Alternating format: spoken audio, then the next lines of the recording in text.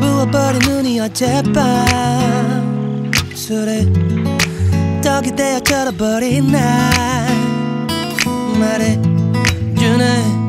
그래 과장님이 아직 농담을 무리하게 박장대소 하다 보니 결국 갔네. Shit.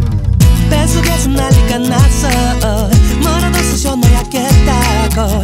냉장고를 열어보니 쓰레기통보다 못한 혜택이물만 잔뜩. 부 전쟁터를 방불케 하는 뷰 하는 수 없이 나는 오늘도 혜자 엄마의 김밥. 어. 이런 날엔 엄마가 끓여 주신 김치찌개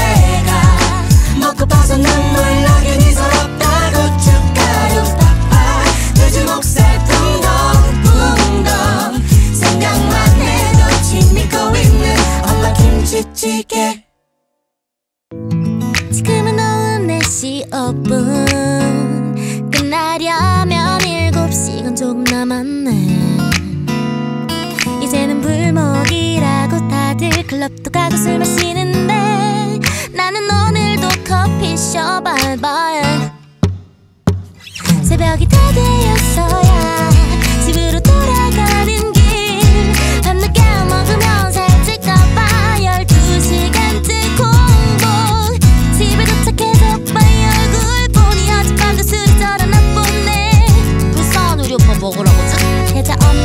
김밥.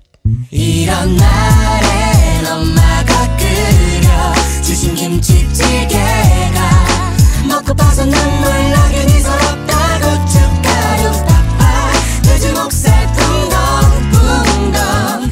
생각만 해도 침이 고이는 엄마 김치찌개. 막내야 어 형. 요즘 힘든 일 없냐?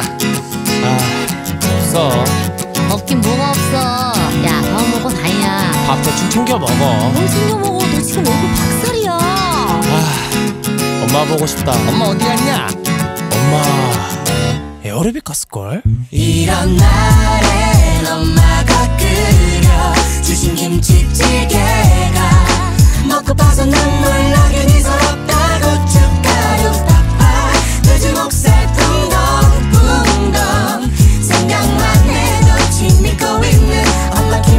김치찌개 한번 더. 이런 날엔 엄마가 끓여 주신 김치찌개가 먹고 눈물 나긴 서럽다 고춧가루 팍팍.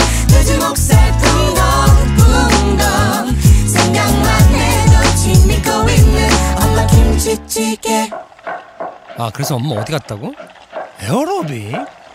아 진짜 엄마 대박이다 대단한 사람이야. 말릴 수가 없어